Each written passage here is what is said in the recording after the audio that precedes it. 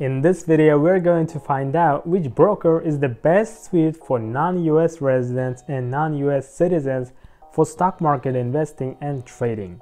Hey guys, my name is Ken. I've been investing for quite a bit and really know that finding a broker may seem complicated. But there are actually a few brokers out there that are the best brokers for non-US residents which allow people from many countries to register.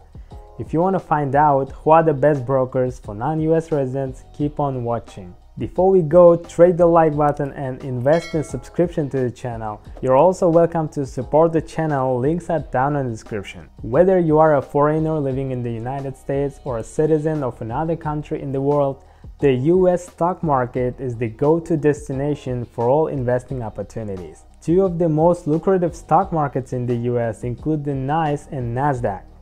Both markets offer US traders and investors a chance of buying and selling stock for publicly traded companies. Amongst many of the companies listed on the US stock exchange, there are many you have probably heard of already. For example, Facebook, Amazon, Apple, Netflix, Google, Coca-Cola, and many more. To invest in such companies, you'll need to open an account with a broker. A broker is one which facilitates buying and selling of securities or assets, and nowadays everything can be done online. The transactions are mostly done through the broker-owned trading platforms. As a non-US citizen who is interested in the US stock exchange, finding the right stockbroker can be super frustrating. There are firms that will allow online applications while others will require paper filings. Also, there are brokers who will demand for proof of address and the W-8 BEN form among other requirements. Before considering an online broker, you should consider the following factors. Let's first start with the products offered. It is important to consider the type of products offered by the broker. Look for a broker that will allow you to trade with all US stocks, ETFs, as well as options or mutual funds if you are planning to use these instruments. Secondly, consider security. This is very important especially when it comes to your own funds. Check out platform security, what investor protection law you are under, for example if the broker is the member of FINRA and SIPC. And last comes pricing. You must look out for the broker's minimum balance, their fees you'll have to pay per trade, also due fee in case of inactivity. Other additional fees could be withdrawal fees and commissions. By researching pricing related matters, you'll be able to select a brokerage firm that is within your budget. Keeping in mind these criteria above, I have researched several brokers, compared to other lists of best brokers and came up with the following list. Here are 5 brokers I have outlined. Number 5 is Charles Schwab International. Account minimum for this broker is 2500 for non-US residents. In terms of fees, they offer free stock and ETF trading, 65 cents per options contract. Rated as one of the best brokers for ETFs and ETF screeners, the company offers a wide array of tools and services designed to appeal to all investing levels. It offers various platforms including mobile web platforms and native mobile apps along with a desktop platform.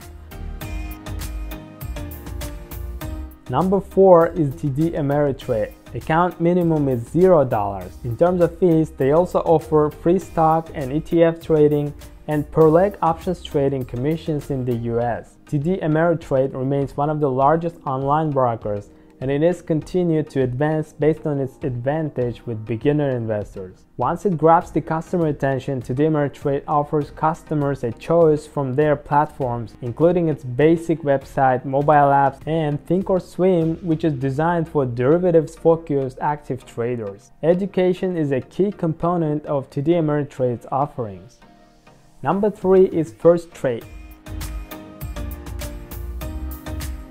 Account minimum is $0 also. Fees $0 commissions for most stocks, options, and ETF trades. Founded in 1985, Queens, New York Firstrade offers commission-free trades for stocks, options, and ETFs and doesn't charge on any mutual funds it has to offer.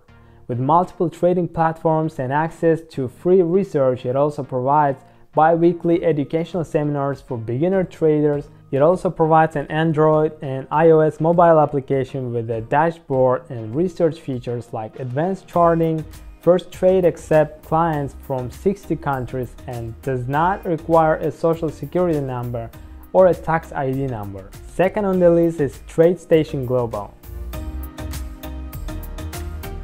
Account minimum is $1,000 on its own platform. In terms of fees, they have low trading fees, especially for stocks and ETFs, TradeStation Global is a brand of TradeStation International Limited, which is based in the UK and is required by the top tier Financial Conduct Authority. TradeStation Global is a combined product offered by Interactive Brokers and TradeStation. Some of the most important elements and key helpful features include the fact that the account opening, deposit, withdrawal options, and available products are the same as at Interactive Brokers. You can use both Interactive Brokers and TradeStation's own desktop platform for your online trading experience. However, TradeStation Global charges its own fees and offers its own customer support and educational tools. Number one on the list is Interactive Brokers.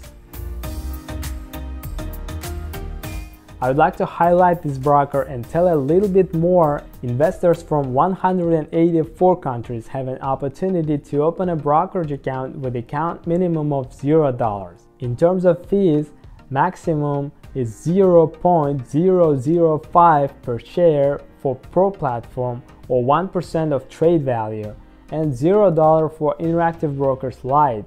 Interactive Brokers easily takes the best overall with its direct access to 135 global exchanges in 31 countries. This allows traders to trade around the clock using more than 60 different order types to manage their position, entry, and exit points. Many of the features aimed at international trading are built into Interactive Brokers' downloadable Traders Workstation platform meaning that you'll end up using it as a primary tool even if you don't consider yourself as a trader. This can be a challenge at first because of the plethora of tools and customizations available through TWS. Learning the platform takes some time, but the learning curve is shorter if you are only using basic functions.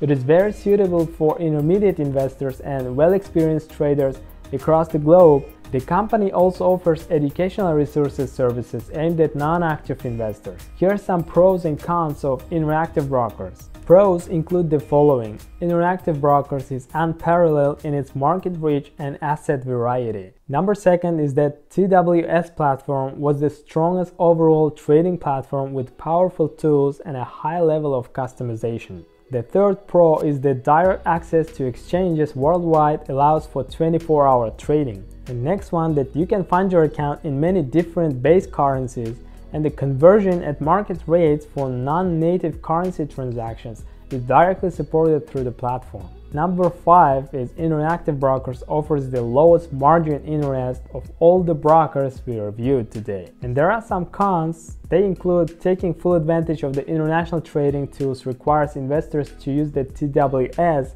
which can be daunting for non-traders, and that the Interactive Broker still uses a fee-based pricing structure for traders, albeit a modest one. Let me know in the comments where you're from and what broker you like the best. I read all the comments and reply them. Here are more other videos about personal finance and investments. Make sure to subscribe the channel, like the video and hit the notification bell. See you in the next video.